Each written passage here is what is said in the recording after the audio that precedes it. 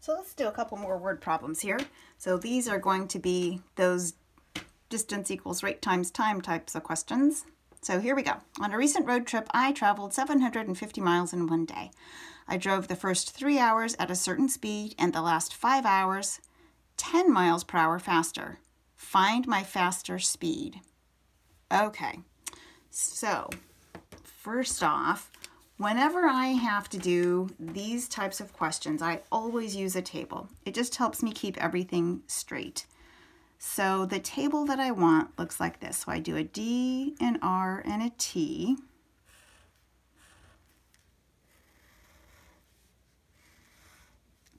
And then the equation that you probably need, and if you didn't know it, you should work on memorizing it. So distance equals rate times time. Super important. So rate is another word for speed. Okay, so now I'm going to go reread my question and I'm going to fill in the six cells of my table. Here we go.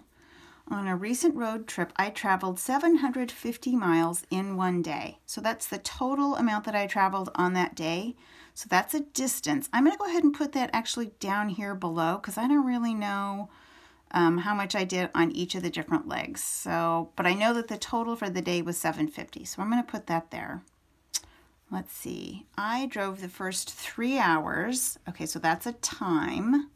So this will be the first leg, right? I drove for three hours at a certain speed. So I don't know what that speed is. So I'm going to go ahead and put a letter in there, so a variable for R.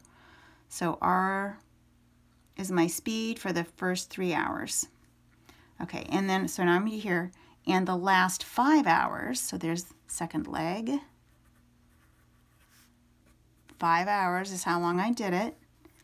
10 miles per hour faster. So that's faster than I was before. So if this was an R, this would be R plus 10 find my faster speed. So the thing I want to find, circle it in green, right? That's the cell, that's the value I need. Okay, well now let's think about what's going on here.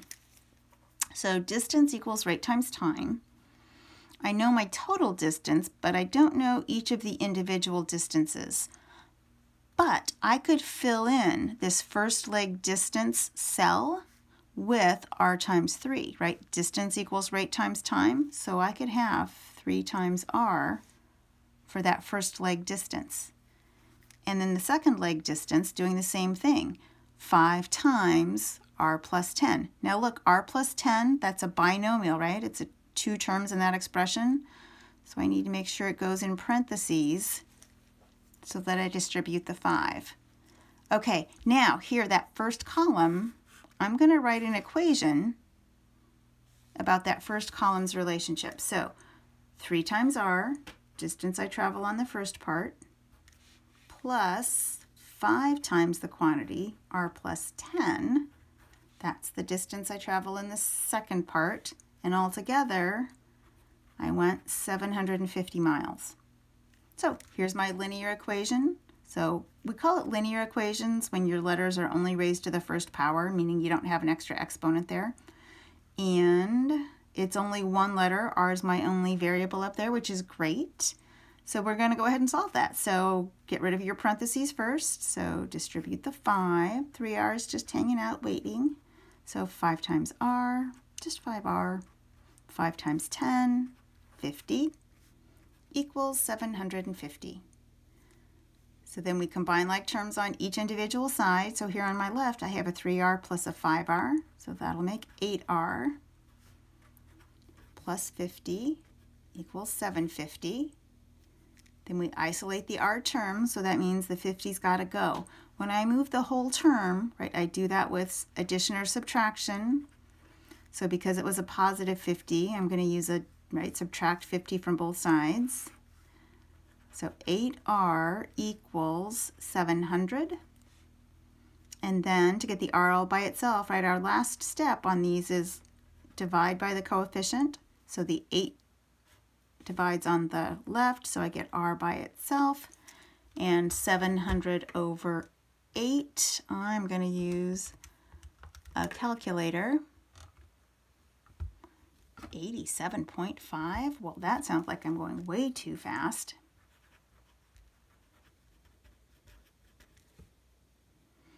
And then I was supposed to find my faster rate, so that would be r plus 10. Oh my gosh. Okay, that's not, not true facts. I'm a very slow driver. Okay, so 97.5 miles per hour. I'm just going to check my math because I thought I had better numbers. So 3r plus 5 times r plus 5 times 10, 8r, 50. Total trip was 750 miles. Subtract the 50. Divide by the 8. Okie doke. Well, there we go. So this next one I know is not accurate because I just looked up what reasonable paddle times were and I'm not even a reasonable paddler, but we'll pretend. So last summer I paddled upriver. So upriver means I'm going against the current. So the current's working against me um, for one hour. Returning, so with the current, only took 30 minutes. If the speed of the current is 6 miles per hour, what is my paddling rate? Okay, so it's another distance equals rate times time question. So I'm going to go ahead and make my table again. So distance, rate, time. And the two things I've got going on now is right upriver and downriver. Okay, so let's see. Um, so I have my table set up. If I need to, distance equals rate times time to remind me. And here we go. Let's go ahead and read again. So paddled upriver against the current. So I'm going to think about what I'm going to do with that first little phrase for one hour. So that I know. So one hour in my time up. And returning only took 30 minutes. So that was, so if this is an hour, I'm going to go ahead and change that 30 minutes into hours. So that'll be a half. Okay. So let's see what else I know. The speed of the current is 6 miles per hour. Okay. Oh, what is my paddling rate? So there's my unknown. What is my paddling rate? That's R. R equals my paddling. So if I'm going upriver, my net rate is however fast I can paddle minus right what the current's doing. So I have to overcome the current and then right keep paddling. So that will be R minus 6. So coming down then, it's however fast I can paddle plus whatever that river can do to help me. So plus 6. There's no information given about how far I paddled except that however far I went up, I came back the same amount. So these two distances are going to be the same. So let's kind of do what we did up above, and we'll go ahead and do rate times time in each of the cells. So distance equals rate times time. So 1 times r minus 6, that's just r minus 6. And 1 half times, parentheses, because r plus 6 is two things, so 1 half times r plus 6. I know it's getting small. We'll go ahead and come over here now. These two distances are the same because however far I go up, I go the same amount down. So here's the equation. r minus 6 equals 1 half times the quantity r plus 6. Right, the two distances are the same. Here we go. Uh, get rid of your parentheses by distributing. Left side's just waiting. r minus 6 equals 1 half r plus 1 half times 6 is 3. Grab all your r's together on one side, all your numbers on the other. So I'm moving terms now. I'm going to go ahead and add 6 to both sides because that's just kind of bothering me. And so now we have where I got r equals 1 half r plus 9. So now the 1 half r needs to come over here with the other r. So I'm going to subtract 1 half r from both sides, gather all the r terms together. Right, they add away on the right like they're supposed to. Here we go, up and over. So now I have r minus 1 half r. So you can either get a common denominator, you can take off the I'm doing a math problem hat and think about it. So if I have 1 r and I lose half an r, I'm left with half an r. So half r equals 9. And now to get to the r, I need to get rid of the half, so I'm on my last step. 1 half times. So to get this coefficient of r to be 1, what I'm going to do is multiply by 2.